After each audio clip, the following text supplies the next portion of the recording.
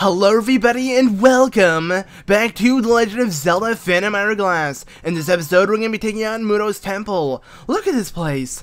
I bet it's packed with traps. We'd better be extra careful here, Link. Sounds good, Ciela. So, yeah, this is Mutoh's temple, and we're gonna have to perish the evil that's inside of it, and hopefully we'll be able to convince him to give us the final pure metal. So let's go ahead and get started. Now, as you can tell, the layout of this temple looks a little weird. Uh, it's filled with booby traps, pretty much as Ciela told us, so we're gonna have to be extra careful. And, uh, yeah, so it should be more difficult than an average temple.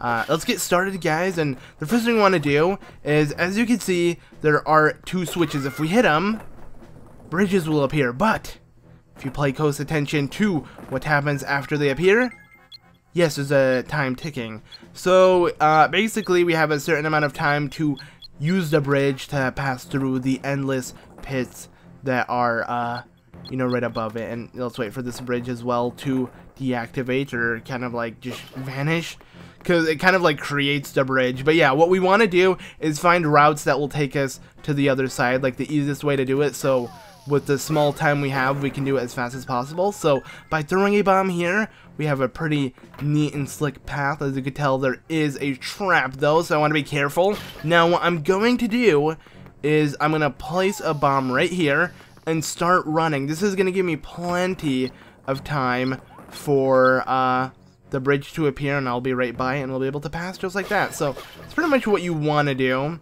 And then by doing so, we can hit this and now we have another way of heading in to like this corner of the room. Because now that this door is open yeah we have easy access. But the reason why we're doing this of course is to make our way up here and fight some enemies. We got some Stalfos which shouldn't be too hard to defeat especially with our power-up sword of awesomeness. Man I love using the flame sword. I don't think I'm ever gonna change it. You know I just think Leaf is my guy. I like having the red one with me um, I, I guess I could switch it for this episode because I've been using it for so much. Like every single episode, I, I use it. So we'll, we'll switch, I guess, to um, Ciela. We're gonna have to have full HP really to use it, so we can shoot this beam out of our sword. So we're actually using Ciela for once, which I guess makes some sense. but yeah, uh, as you can tell, after defeating those enemies, a bridge appeared and we hit the switch, and now a torch has been lit. Now we're gonna do the same for the opposite side, but we have to obviously make it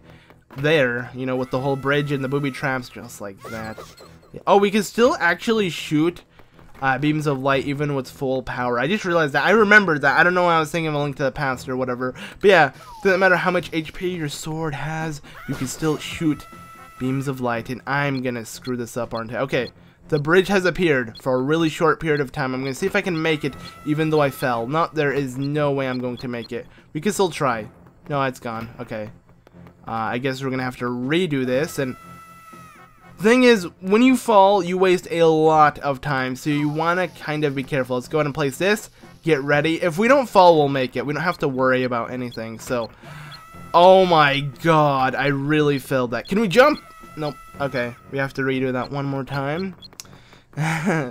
totally forgot about trap, dude. like, I completely forgot about that trap for some reason. This this should be easy, especially using the bomb tactic instead of actually hitting it with your sword. Um, but, let's just wait. Good thing we barely like get any time to do this, so you know we can just wait it out real quick. All right, here I go. I'm gonna be patient. Patient is key, I guess. Not really, but whatever. Huh, come on, no! We have to catch this while it's heading that direction, or we're never gonna make it. I mean, what we can do I guess this might be a better idea. Instead of using the bomb, you can actually use your boomerang to hit this. This is maybe a better tactic if you're able to catch this. But we weren't, so we're going to be heading back. Man, this is this is a great way to start the episode. Uh, just filling a whole bunch but I don't care. It's not really my fault, it's timing's fault. Why am I so unlucky at times? There we go, we made it. As you can tell, if you do pass the bridge, the bridge won't uh, disappear, or like just go away. Um, so even hitting this switch right here that will open up this blue door, now that we have access to this part, doesn't really do much because you can easily use the bridge whenever you want now that you passed it. It's going to stay here forever. Uh, so yeah, but I guess they did that just so you don't get confused or whatever, thinking the bridge might disappear. I don't really know. Uh, the sword doesn't feel any weaker. I guess because we are like maybe hitting them with an extra shot with the beam of light that shoots out of the sword. So I think it's just as good as um, the other, the other sword, the power sword. The, you know the thing of power, whatever. I don't know what I'm trying to say. Yeah, it is. Because we get like an extra attack on them right before we're actually really able to hit him, which is really nice. Actually, wow, that, that didn't work there because he was like blocking my attacks. And honestly, this is getting a little annoying. It's a weird type of sound effect every time you use your sword. But yeah, okay, so we made our way to this room. As you can tell, yeah, look at the map.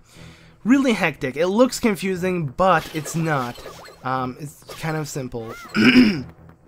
but anyways, let's go ahead and get started by running down here. You know, we, we saw a Stalfos that was kind of like dressed up as a pirate. But I just believe they're a casual Stalfos. They don't really do much more damage. I mean, they do have a sword and they swipe around really crazy, so you want to be careful of that. But Anyway, let's go ahead and make our way up here. We're just gonna speed through this, just power uh, like crazy. Oh, you know what the good thing about this sword is? We can hit like likes from far away, because, you know, I dislike like likes. I'm gonna keep doing that joke because I don't really care. Alright. So, what? He didn't appear until now. That was so uncool. Alright, let's just quickly kill him. Oh, okay, don't... I can't do the spin attack because I keep hitting the chest. But if you watch this, should work. Nope, still didn't work couldn't do any spin attack. Even if you do it the other way. I guess because Link still ends up hitting the chest. Going to open up this chest and get ourselves a Ruto Crown. That's just dandy. Not something I really wanted. What I'm to do here, though, is I'm to quickly do this. Just so I know which one's fake and which one's real. But yeah, we want to run through this mini maze, like so. Uh, be careful, though, because like, like, suck. Um, and yeah, if we make it right down here, we'll notice another one of these citrus. So was, yeah, there's one of these earlier. I wonder what this is. And they saw one in the Temple of the Ocean King. Yes, we actually have. I never really mentioned it, but these switches are like normal switches that we usually hit, but really rusty. So when we step on them, they don't budge. So it's kind of hinting to what we're going to be getting in this episode. So yeah, let's go ahead and quickly just go cam like this. nice. Wow, okay That took a lot longer than wanted, but yeah, okay. Ah. Yeah, this is actually getting really annoying. The um, the sound effect the sword does. Wish you could like turn that off. But once we defeat all of these enemies, uh, a chest appears. So awesome. Now what I'm going to do is I'm going to head over to collection and just switch back to the Spirit of Power. I'm sorry, I want to do something new, but uh, I don't know, I'm just used to the Spirit of Power. It's my thing, like I said earlier. It's my favorite, so let's go ahead and run down with this hammer we just obtained. Yeah, didn't really mention it, but that chest gave us a hammer. Surprisingly, it's not called Magical Hammer, like Magic Hammer, as it is in, like, previous titles of Zelda. But this one's the most magical one, because look, it floats and it becomes big. Like, Link can control it like this, like a freaking wizard. How is this not a magical hammer? They just gave it the name Hammer. It's it's weird, but now we can use these hammers to, to hit switches like this, as you could tell. And I didn't want to actually head down there, or I did. What, what am I talking about? We got the hammer, we're heading down here, we hit the switch, and now we're going to make our way up here. Now, let's go and read the stone slab. So, uh, touch the footprint, slam the pillar. So if we keep uh, our feet on these giant footprints and slam this pillar, bam, we get flung into the air. How cool is that? You wouldn't really think this would be in a Zelda game. Because, you know, Zelda mechanics aren't as crazy and stuff. They're kind of sturdy and just kind of straightforward. Even the combat is a little, uh, is a little, like, subtle and fixed. Like, see, the words I'm saying here aren't making any sense. But I, I have a feeling some people might get what I mean. Like, you don't go all over the place when you're fighting Zelda. It's, it's really simple. It has simple strategy to it and everything. Um, so it's kind of weird seeing Link like shoot himself. This seems like a Mario aspect in a game where you just get flung into the air. But yeah, um, we're gonna go ahead and make our way back here now. So that path basically took us back up where we can just head backwards. And remember that switch that we saw while heading up these stairs? Let's go ahead and hit it now. And it will give us access to a new area. So we're gonna run down this basement, and if you look at this, yeah, we're back in this room just in a different part, because, you know, we entered here. This is pretty much the entrance slash exit of the area, and now we're here. So let's get started. Uh, this kind of gets a little confusing, because all of the crazy stuff are in this temple, but believe it or not, once you get the hammer, it's actually really straightforward if you don't get confused from the couple puzzles we're going to be taking on. So I'm going to go ahead and do this. Yeah, watch.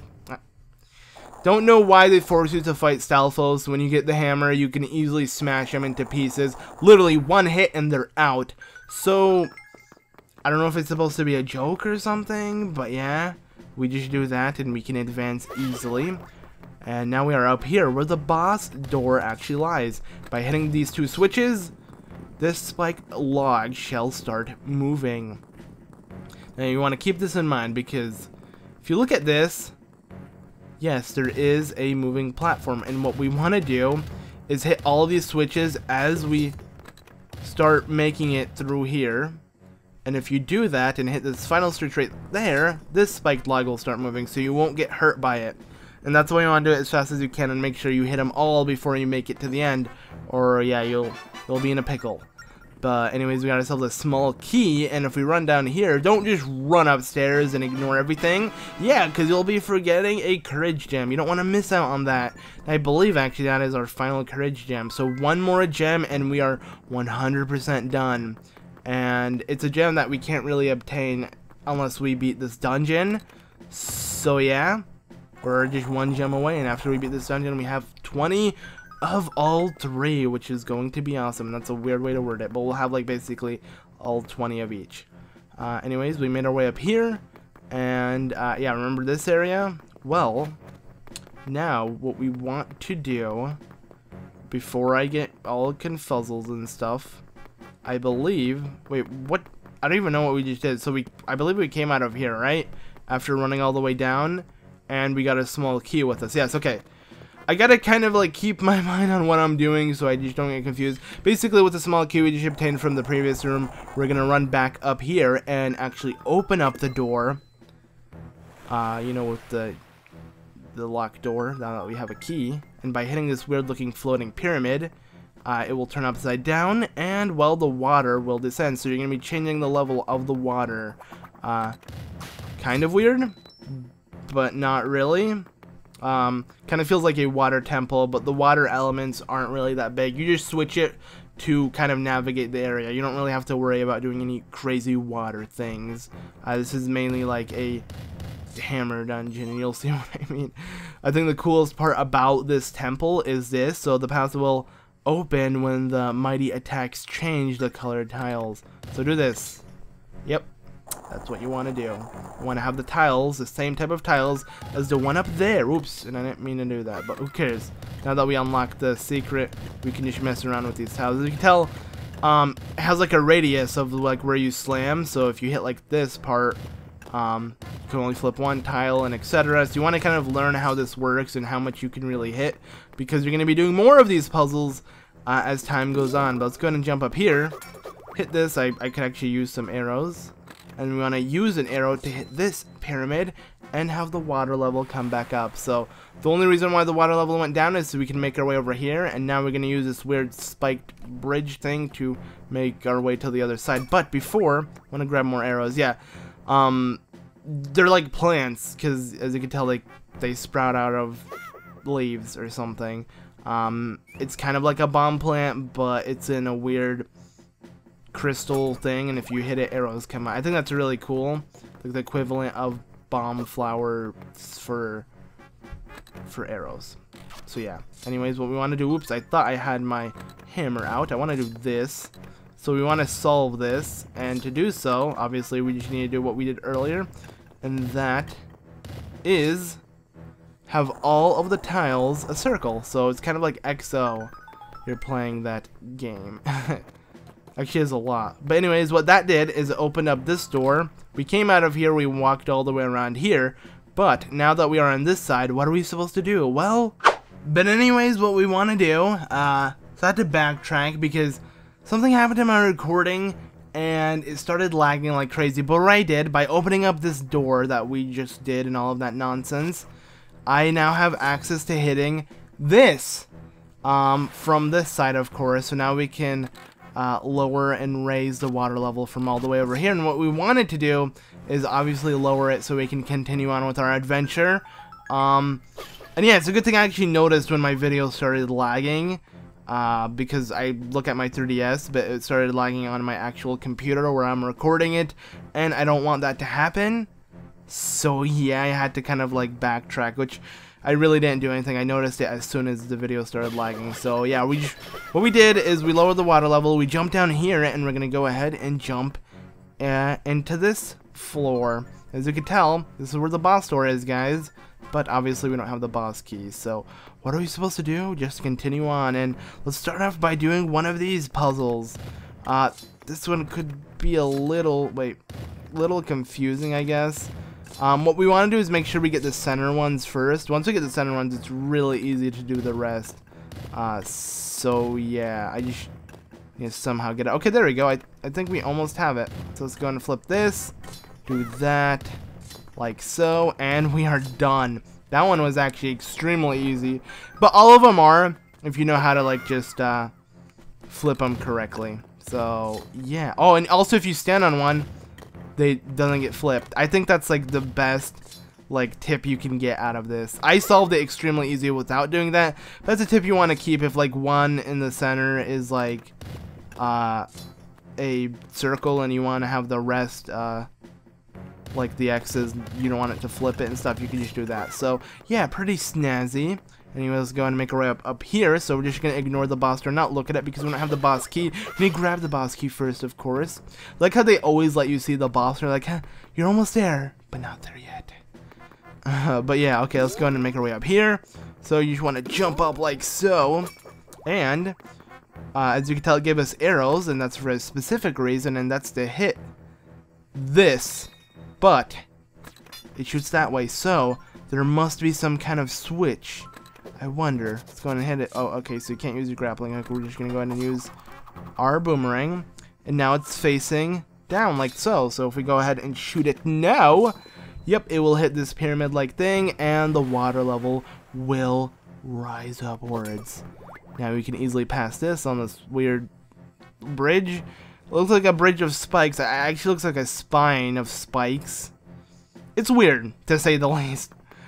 But anyways, um, these tiles are a little bit different. You don't want to have all of them, oh, like switch the X's to O's. If you go and read this, it'll say red and blue when they are aligned in the true form, the path will open. Now, I wonder what that is. It's going to hit this again and, you know, lower the water level real quickly. And if you look down from here, you'll notice that, yeah, there is a certain pattern. Obviously, we can't hit these ones, so we want to kind of you know, have these ones look just like this one. So we're going to uh, copy it.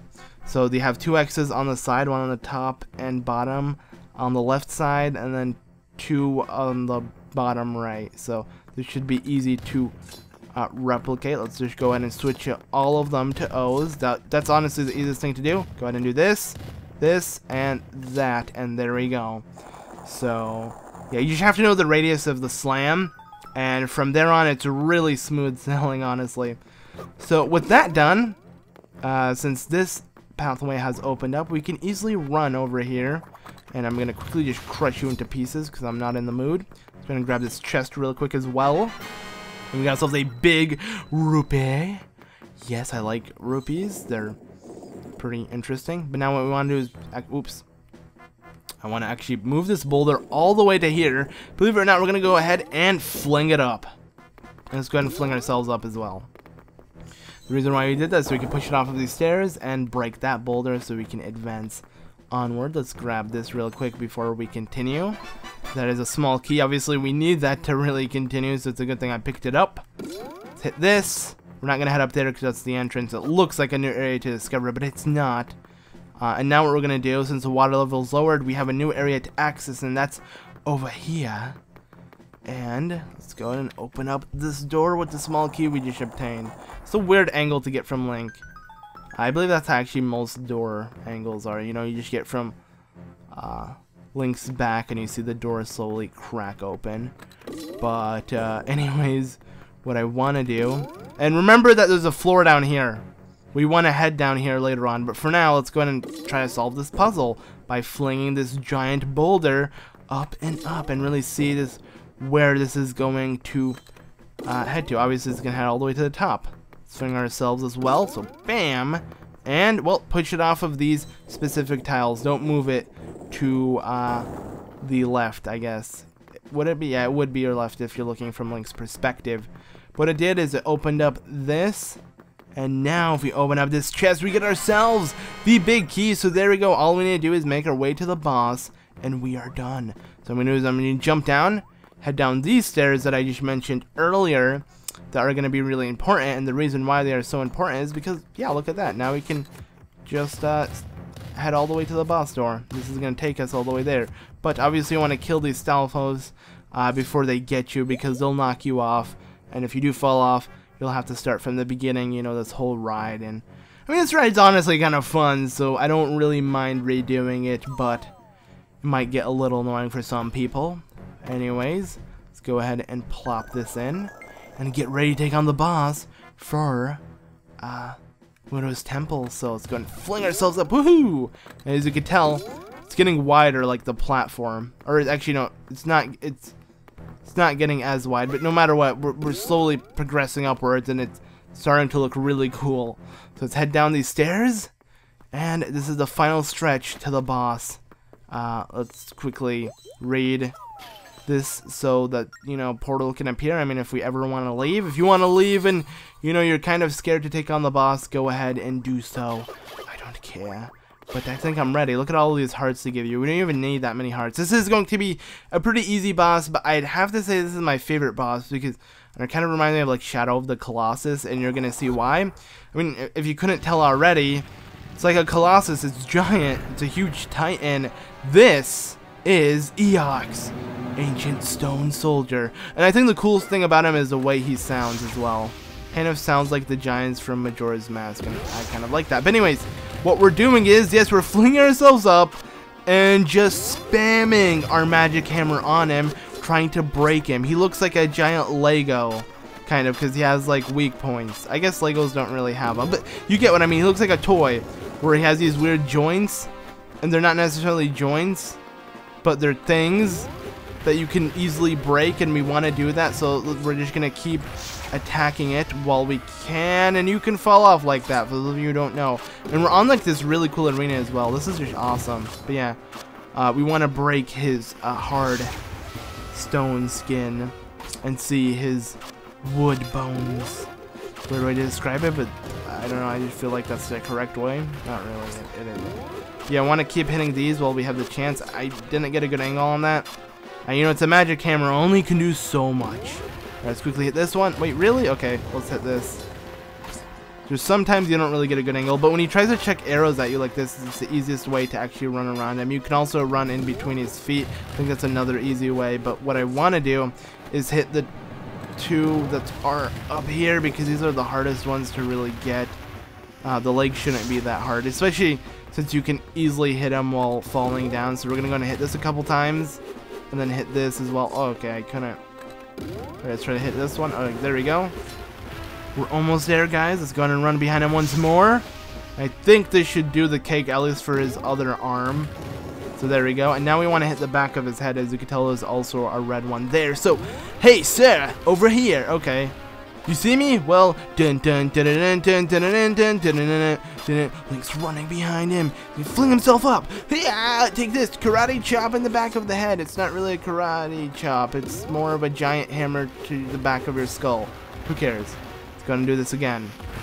For some reason, it's not registering some of the hits because I know I'm hitting him. But whatever. Okay, come on. Okay, hey, still didn't work. Let's try again. Oh, he already turned around taking longer than it should. Kind of like the beginning of this episode with, with the whole switch. I'm just getting a little unlucky here.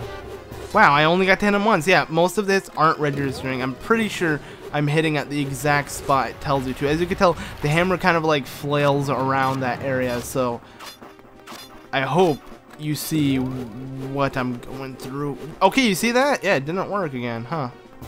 Or just just start running, because he's going to turn around right now. Yep. To avoid that. Oh, wow, he can actually like stomp on us. Oh, this is good. This will give us a good chance to hit him one more time. Nope, it's not.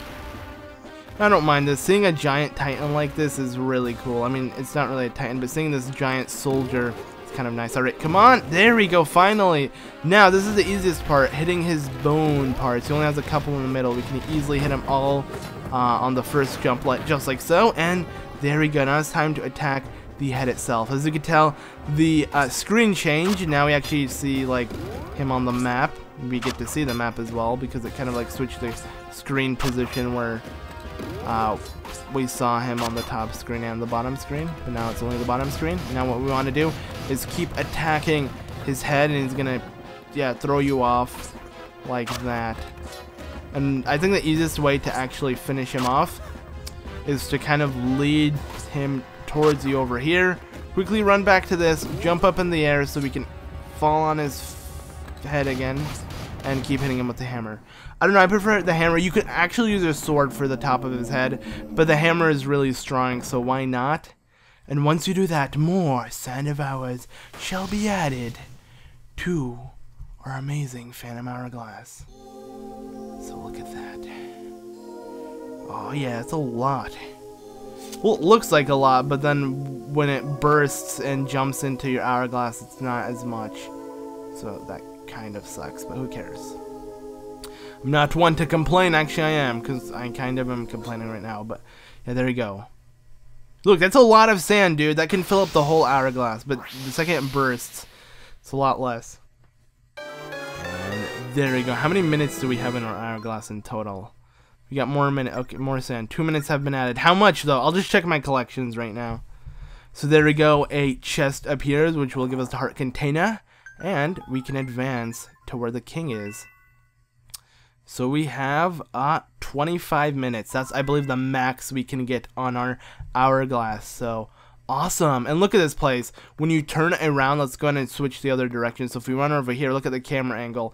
Yeah, it turns completely. So we actually can see the back of a chest, something we never really got to see in this game. Let's try to open it from the back. I didn't really do anything special. Yeah, there we go. We got a heart container. Yeah! One more heart container completely done. And it's a heart I kind of been ignoring that we could have gotten really early throughout this Let's Play, but I decided to wait for so long. But we'll be getting most likely in the next episode because we are so close to ending this game. But look at this. I can't tell if this is dirt or like like gold. I doubt it's gold. Whatever. Let's go and run up here and oh, look at that. It's the king. Uh, so you're the one who restored silence to our temple. My name is Mutoh. I am the ki king of the great Cobble Kingdom. Only the true hero would have three spirits, so yeah, we are, you know, helping the Ocean King is in dire trouble. So he shall give us the sacred treasure, the Aquanine. Please take it with you. Look at how nice he is. And he's counting on us to save the Ocean King. So we didn't really have to convince him or anything. He was totally down with the idea. So that's just freaking awesome. But yeah, let's go and pick up the final pure metal piece. So all that is left is heading to Zauz and having him forge the Phantom Sword, and we'll be able to defeat Zaz with that legendary blade. I am excited, guys. We are pretty much at the final stretch of the game. But, most likely going to be covering something else in the next episode, and, you know, that's getting the final piece of heart. And, uh, well, as well as getting the final power gem and upgrading all of that, and doing just a, a bunch of things. We're gonna be pretty much closing all loose ends in the next episode, and maybe the episode after that will be the finale or something towards the finale. So you'll see, we're pretty much at an end, guys. I hope you guys are hyped for this because I sure am. Uh, so yeah. Thank you all so much for watching this episode of The Legend of Zelda Phantom Hourglass. I, I failed a little bit with the boss in the beginning of the episode and having that weird screen lag. But, uh, things happen. Nobody's perfect. So yeah, I'm just gonna roll with this. Thank you for watching. I've been Zelda Master, and if you don't got Zelda, make sure to subscribe. Goodbye.